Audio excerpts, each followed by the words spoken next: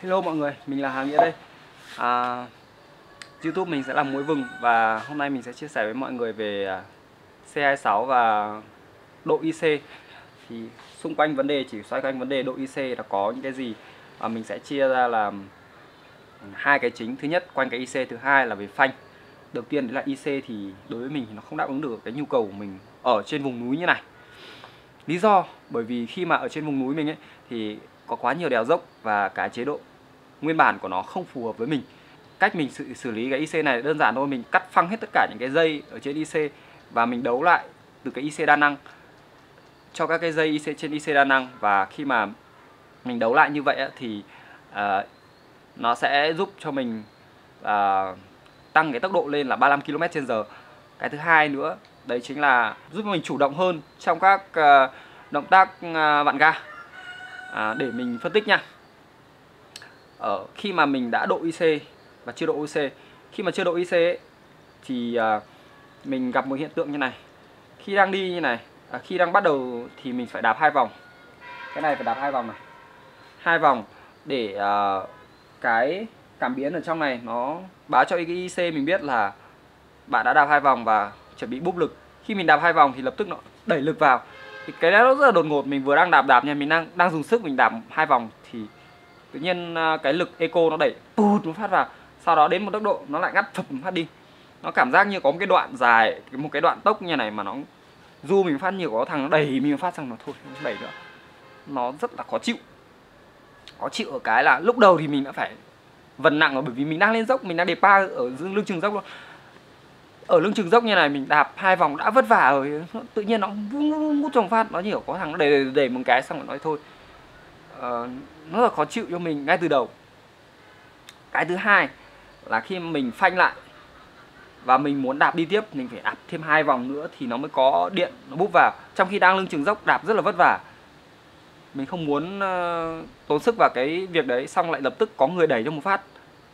Nó rất là khó chịu đó đó là cái ờ, cảm biến nó gây đến sự khó chịu cho mình là phải đạp hai vòng. Một vòng giữa hai vòng gì đấy. Nói chung là phải đạp thì bắt đầu mới bục điện vào. À, cái thứ hai đấy là cái cảm biến ờ, ở trên tay phanh. Khi bạn bóp phanh cái ngay lập tức chỉ cần bạn hơi mớm phanh thôi. Có những trường hợp mình cần rà phanh rà phanh nhẹ nhẹ thôi. Có những trường hợp bạn thì cần đi chậm lại bạn đang đi nhanh bạn đi chậm lại thì bạn rà phanh và thanh lập tức cắt phăng phát. Cái đấy nó rất làm cho mình kiểu cụt cảm xúc, cụt cảm xúc, cụt cảm xúc. Và khi mà mình đã độ thì mình có nhận được cái gì? Cái thứ hai, cái mình nhận được thứ nhất là tốc độ. Tối đa là 35 km/h thứ hai là tinh chỉnh tay ga, từng nấc một, từng ní một như thế này. Và mình không phải quan tâm đến cái đồng hồ chế độ eco ấy kiếc nữa.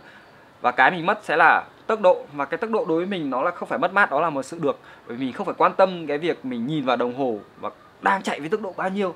Đi đi, đang nhìn đường, nhìn cái đồng hồ làm cái gì. Đó tốc độ nó không quan trọng đối với mình. Cái tốc độ mình nhìn ở trên đồng hồ quan trọng gì bằng cái việc mình vượt ông này hay là ông này ông vượt lên mình hay là cái việc mình phải dừng lại hay việc mình đi tiếp?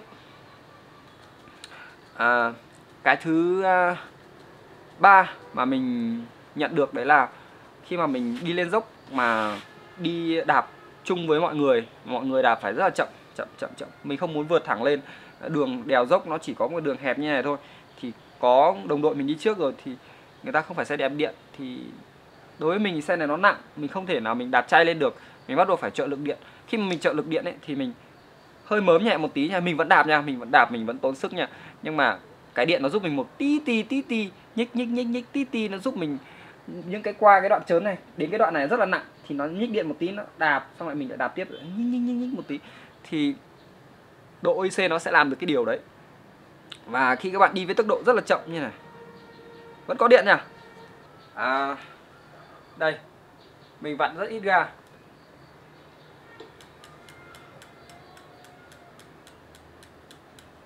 Đó. Chỉ cần mình mở ngang một tí tí như này thôi ngang một tí tí như này là nó đã đạt cái tốc độ mà mình muốn rồi. Cái tốc độ này tốc độ leo dốc các bạn nha. Các bạn không thể vượt lên đồng đội và các bạn không thể nào là, là mất kiểm soát với cái tốc độ này được. Nếu mà ở chế độ uh, hai thì có thể nhưng mà khi các bạn bị dừng lại một cái các bạn bị dừng lại một cái đột ngột dừng lại một cái đột ngột các bạn lại phải mớm ga nhẹ nhàng lên một tí tí các bạn phải bấm ga nhẹ nhàng lên một tí tí thì à, điều này khiến cho mọi người sẽ rất là khó chịu. À, không kiểm soát được tinh chỉnh được cái mức độ ga khi mà ở chế độ eco hoặc là chế độ mid 2 và phải quan tâm đến các chế độ khi mình đang phải quan tâm đến cái việc mình có đụng vào đồng đội hay không hoặc là mình có đụng vào người khác hay không hoặc là mình có bị nói chung là đường khó khăn thì các bạn sẽ cảm thấy rất rõ cái điều này khi bố bạn độ IC đó. Độ IC thì có lợi hơn rất nhiều khi mà đi đường khó khăn. Và điều này cảm thấy mình cảm thấy rất là hài lòng. Nên là các bạn thấy xem mình rất là hay đi vào những cái chỗ gọi là bùn lầy. À, cái tiếp theo nữa, đấy chính là cái mà độ bền của IC thì mình thấy là nó giống nhau thôi các bạn ạ. Khi mà mình à, cuốn dây rồi người làm chống nước đầy đủ, chống thì không phải chống nước, nó chỉ là chống nước mưa thôi các bạn. Các bạn nhúng cả xe vào thì chắc chắn là IC nào cũng đứt hết rồi. Thế nên là xe này mình vẫn mang đi rửa nhé các bạn nhé mình mang đi rửa, nó sẽ hơi bị chập cheng một tí. Nên bảo mọi người là không không phụt vào cái đồng hồ này, không phụt vào cái phần à, IC dưới này nhất là cái bảng đồng hồ. Đơn giản vậy thôi.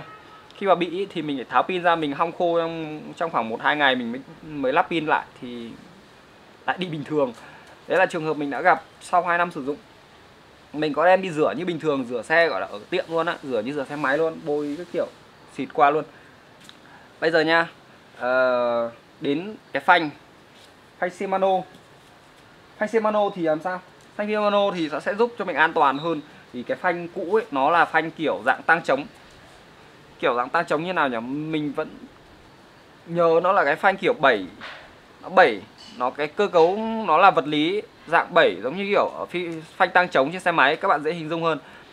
Thì uh, khi mà mình 7 như thế thì nó sẽ có một cái đoạn mà mà 7 trượt quá ấy, thì nó sẽ bị mất phanh. À, 7 nha nhá xong rồi có cái đoạn trượt nó mất phanh như này. Thì cái đoạn trượt mất phanh nghĩa thì có thể xảy ra nếu các bạn để mòn phanh quá lâu và hoặc tăng phanh quá nhiều. À, thế nên là mình nghĩ là sau một thời gian sử dụng các bạn nên thay phanh. Mình đã sử dụng phanh của, của mình đi khoảng tầm nửa năm. Phanh nguyên bản nó đi nửa năm nhưng mà mình rất là liều mình lao đèo lao dốc thả đèo thả dốc phanh nóng rừng rực luôn. Thả cái lá cây vào cái má phanh là cả lá cây héo khô luôn.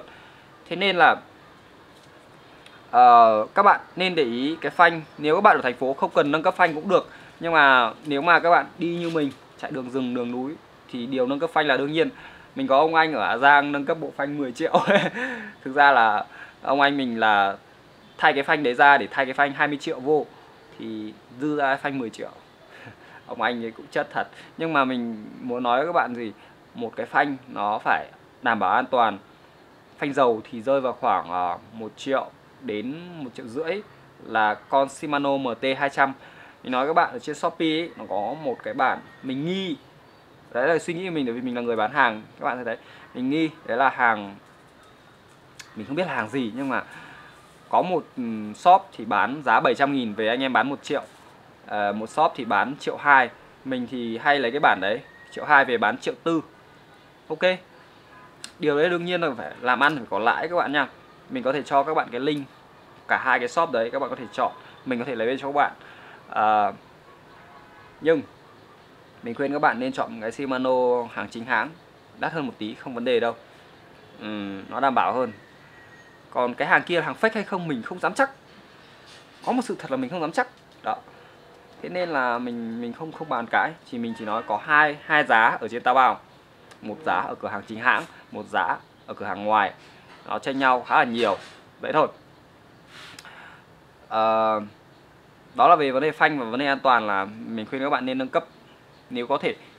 À, đầu tiên IC nâng cấp là nên bởi vì uh, như gì mình đã nói thì nó khá là ok. Ha à, khi mà các bạn nâng cấp uh, phanh nữa cộng với nâng cấp IC thì cái IC nó tăng cái tốc độ của mình lên rồi này thì các bạn nên nâng cấp phanh bởi vì à, cái tốc độ đang cao thì các bạn phanh đột ngột đấy. Cái phanh zin ấy nó nó khiến cho mình cảm thấy nó không an toàn. Cái thứ hai nữa là cái phanh mà nâng cấp lên nó rất là nhẹ nhàng phanh rất là dễ. Chỉ cần một ngón thôi mình có thể control được ở cái tốc độ 35 phanh phát khi ở luôn. Còn à, phanh cũ thì nó rất là mất lực. Mình chỉ nói thế thôi. Còn à, cái độ an toàn thì chắc chắn là nó cũng ở một cái mức độ cao hơn nếu mà là phanh dầu. Mức độ cao hơn nữa phanh dầu vẫn mất phanh bình thường các bạn tụt dầu bình thường nên là đã gặp rồi nha đã gặp rồi nha tất nhiên là phanh đấy nó lâu ngày rồi, không phải xe này. Rồi, cảm ơn mọi người xem video. Có gì mình gặp nhau sau nhá. Hơi dài dòng tí ha.